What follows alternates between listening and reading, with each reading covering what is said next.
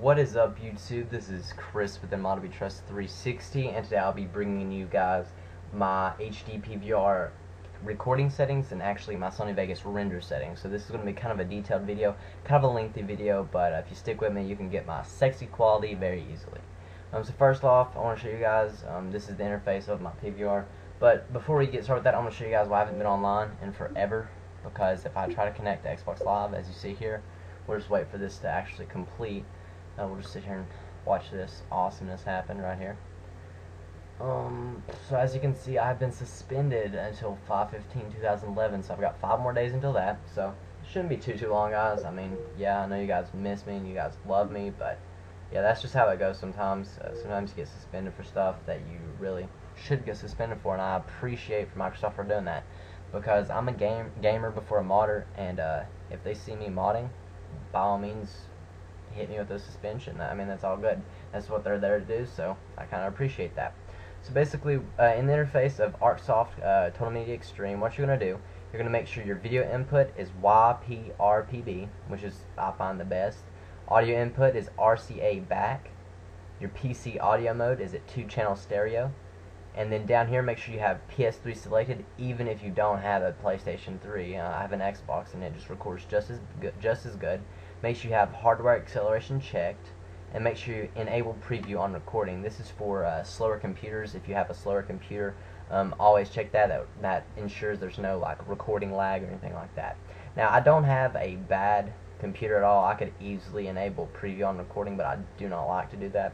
So once you have all that done, go in here into device settings, and uh, under this right here, under the video PROC amp, um, just have the brightness at 134 the contrast at 128, the hue at 128, the saturation at 128, and the sharpness at 128. I think those are default. I'm not completely sure, but that's just what I have there. Um, for the video standard, you have NTSC underscore M. Um, so it should automatically uh, show up here. Signals detected 1, lines detected 720. This means you're getting 1280 by 720. Also, make sure VCR input and output enable are also uh, checked. So we can click OK and we're going to our format settings. This is we're actually going to get into the format of our uh, recording. So here, um, what you're going to do, the quality uh, and the bit rate, make sure that's 13.5 megabytes per second. Uh, make sure you have that set to constant bit rate. Make sure boost analog and disable bling LEDs are both not checked. Uh, your Luma is going to be set to 3. Your Chroma is going to be set to 3. And make sure you use AC3 audio encoder. So just go and click OK. So once you have all those settings, we're pretty much done with ArcSoft, so uh, we can go ahead and minimize this. And we're going to open up Vegas, and I'm going to show you guys um, what I do in Vegas whenever I have my uh, clip already recorded and ready to uh, render. So let me go to Vegas. I, I didn't have this opened at the beginning of the tutorial because I kind of just jumped into this because this is actually a, a very highly requested video of people wanting to know my render settings. So I decided for all the people with HD PVRs, here you go. And even with these render settings, you can actually use these for maybe your Dazzle or your Diamond VC500 or some, just any other low-grade standard standard definition capture card to make your quality a little bit better. So I'm just going to go up here, File, Import Media, and I'm just going to import a clip randomly. So I'm just going to my Videos, HD Clips, and here's the COD 4 mods. Uh, this fail, I got 99% missed one note on expert on this song, which I call it a fail. I mean, it was a pretty good, pretty good run at it, but and I consider it a fail. So that's actually kind of long. I don't want to wait for that to actually render out. So I'm just going to open up this COD 4 mod. Um, so I'm going to just drag this down into our timeline. Uh, once this is in our timeline, there's a lot of things we actually have to do before we get into the actual editing part of the uh, whole thing. So up here above your preview, you're going to have this little, uh, looks like a little pointer. So you can click that, and you're going to bring up your uh, project property menu. So uh, for this, uh, you're going to want to create your own custom template, uh, which I've done here. Uh, make sure your width is 1280, height 720. Your field order is going to be at non-progressive scan. Your pixel aspect ratio will be at 1.0000 square. Output rotation at 0 degrees your frame rate will be at 59.94.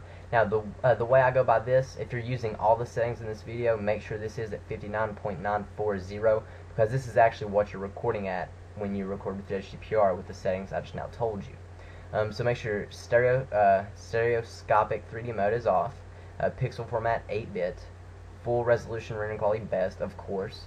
Uh, your motion type is going to be Gaussian.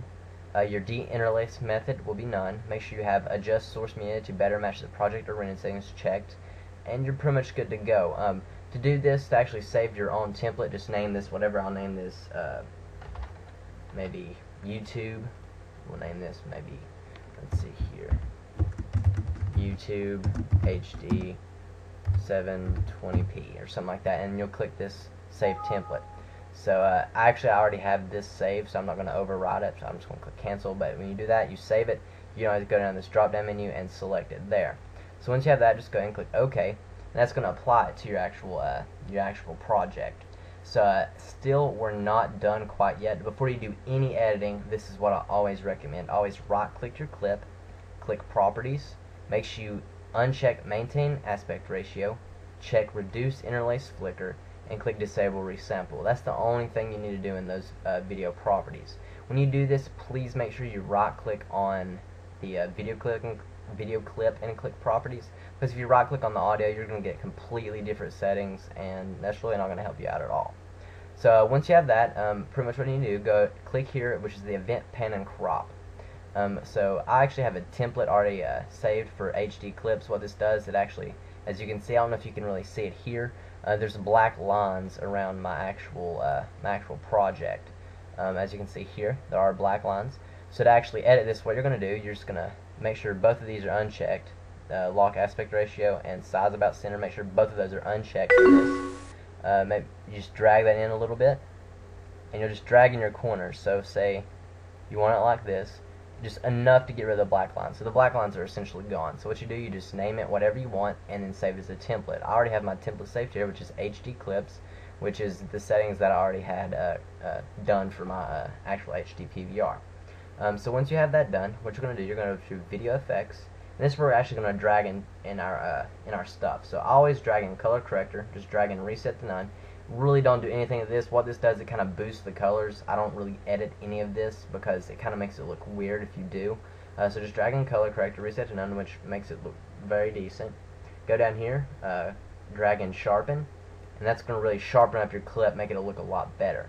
Um, I always leave it at 0.000 because actually when you add sharpen, it kind of decompresses when you render and also when you upload, uh, YouTube decompresses it even more. So uh, always leave it at 0.000 and you're going to get the best quality possible. So once you have all these steps done, what you can actually do is you can edit your clips. So say you just want maybe that's this last little bit right here. So you're going to click S to split it, delete that, and there you go. You got your really small clip, all your uh, settings done to it and everything. So now you're ready to render. So let's go up here to File, click Render As, and this is where we're going to get to my render settings. So uh, what you need to do, save top as, you need to go to MainConcept AVC AAC MP4, click that, and then click custom. Now this is actually um, the one I have uh, already created. Again, whenever you get done creating this, just name it and save it. Um, so uh, when you're when you're in the videos tab of the render settings, just make sure include video is checked. Um, frame size, custom frame size, width 1280, height 720. Make sure allow source to adjust frame size is unchecked. Profile is at main. Frame rate is 59.940000. The reason this is, is that's what we recorded in. So of course you need to keep that pretty constant to keep your um, quality uh, the best it can be. So make sure allow source to adjust frame rate is selected.